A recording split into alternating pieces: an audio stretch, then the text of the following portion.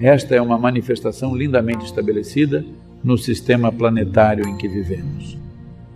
O diâmetro da Terra, o diâmetro do Sol, a distância entre a Lua e a Terra, e em termos de como a órbita da Terra é dividida, com base nisso, sabendo da conexão entre o sistema celeste e o sistema humano, muitas coisas foram evoluídas e desenvolvidas.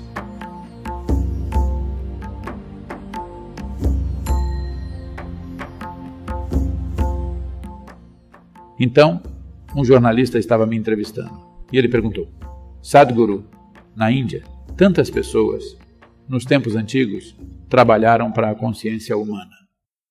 Quem você acha que contribuiu com isso significativamente no hemisfério ocidental? Sem hesitar, eu disse: Charles Darwin. Então ele disse: Como?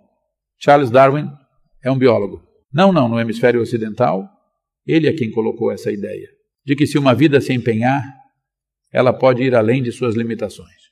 Essas limitações não são dadas por Deus. Essas limitações não são absolutas. Se uma pessoa estiver disposta a se empenhar, ela pode ir além de suas limitações. Até mesmo, sabe, um porco pode se tornar um elefante. Uma cabra pode se tornar uma girafa. Essa não é uma mudança pequena, não é?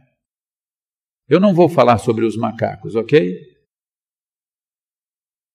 Dessa forma, essa possibilidade de que, se um ser humano se empenhar, ele pode ir além de suas limitações. Então, isso foi próximo de 15 mil anos atrás. Eles fizeram essa pergunta. Isso quer dizer que nós podemos alterar nossa fisicalidade, que podemos evoluir. Então, a Diogo disse: sua evolução física está completa. E ele forneceu referências matemáticas do porquê é assim. Então, quando eles perguntaram: nossos corpos podem evoluir? Ele se referiu aos seus corpos e disse: Existem 114 pontos de junção de energia no nosso sistema, os quais, no sistema yógico, referimos-nos como sendo chakras. Existem 114 chakras. Desses, dois estão fora do corpo. 112 estão no corpo. Desses 112, existem quatro sobre os quais você não pode fazer nada. Eles florescerão se todos os outros estiverem ativados. Existem 108 com os quais você pode trabalhar.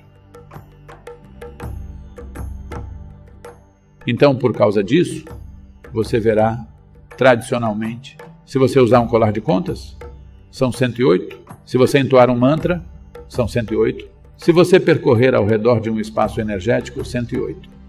É assim porque existem 108 coisas que uma pessoa precisa fazer se ela quiser obter um domínio completo sobre o próprio mecanismo humano. Essa é uma manifestação lindamente estabelecida no sistema planetário em que vivemos. 108 vezes o diâmetro da Terra é o diâmetro do Sol. O diâmetro do Sol, 108 vezes, é a distância entre o Sol e a Terra. O diâmetro da Lua, 108 vezes, é a distância entre a Lua e a Terra. E em termos de como a órbita da Terra está dividida, até mesmo isso equivale a 108. Por exemplo, as posições que a Terra assume ao redor do Sol, isso é chamado de nakshatra. Existem 27 nakshatras. Nakshatra não é uma estrela, é uma unidade de medida aqui. Existem 27 nakshatras. E esses 27 também indicam uma metade do ciclo lunar. Portanto, 27 nakshatras significam 13 meses lunares e meio, e é assim que o calendário lunar funciona. Um nakshatra é dividido em quatro padas que significa um oitavo do ciclo lunar, que é aproximadamente 3,5 dias. 27 nakshatras vezes 4 padas dá 108 padas em um ano. Então, com o completar de um ano, existem 108 padas. Portanto, isso é quase como as contas que você usa, 108. Neste momento, o planeta Terra está se arranjando na forma de 108 contas ao redor do Sol, e da mesma forma você tem 108 contas, sempre que usa. Isso é quase como um colar de contas ao redor da circunferência do Sol. Com base nisso, sabendo da conexão entre o sistema celestial e o sistema humano, muitas coisas evoluíram e se desenvolveram.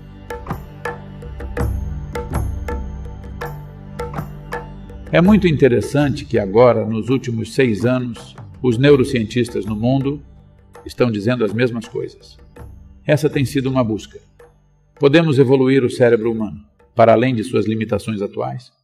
Então, hoje, os neurocientistas estão dizendo que não é possível evoluir mais o cérebro humano, não por causa de princípios neurológicos, mas por causa das leis da física do planeta. A única maneira que você pode evoluir isso é aumentando o tamanho dos neurônios. Essa é uma maneira. Ou aumentando o número de neurônios. Essa é outra maneira. Se você aumentar o número de neurônios do seu cérebro, a clareza sumirá. Muitas crianças nascem desse jeito. Elas são brilhantes, mas não conseguem pensar em nada, porque não existe clareza. À medida que crescem, naturalmente ocorrerá certa quantidade de morte cerebral. E então elas se tornarão estáveis. Se isso não acontecer, elas sempre estarão dispersas. Outra maneira é aumentando o tamanho do neurônio. Se você aumentar o tamanho do neurônio, o volume de energia que um neurônio consome será tão elevado.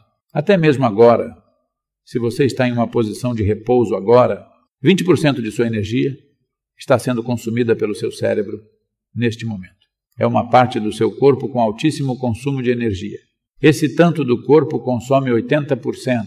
Esse tanto de cérebro consome. Desculpe, não se sinta insultado pelo tamanho, ok? Esse tanto de cérebro está consumindo 20% de energia. Se você aumentar o tamanho do neurônio, ele consumirá de 30% a 40%. Isso significa que se tornará insustentável. Portanto, hoje neurocientistas estão dizendo que as leis físicas do planeta não permitirão crescimento adicional do cérebro humano. Podemos apenas aprender a usá-lo melhor, mas não podemos desenvolver um cérebro maior. Isso a Yogi disse 15 mil anos atrás. Ele disse: A sua evolução física está completa, porque o sistema solar não permitirá. A menos que algumas mudanças dramáticas aconteçam no sistema solar, você não pode evoluir fisicamente. Mas existem outras maneiras de evoluir. E ele ensinou os métodos de como um ser humano pode evoluir além de suas limitações. E não precisa ser uma evolução física. Não quer dizer que você perdeu sua cauda e tem que crescer chifres significa que existem outras maneiras de evoluir que não precisam ser físicas.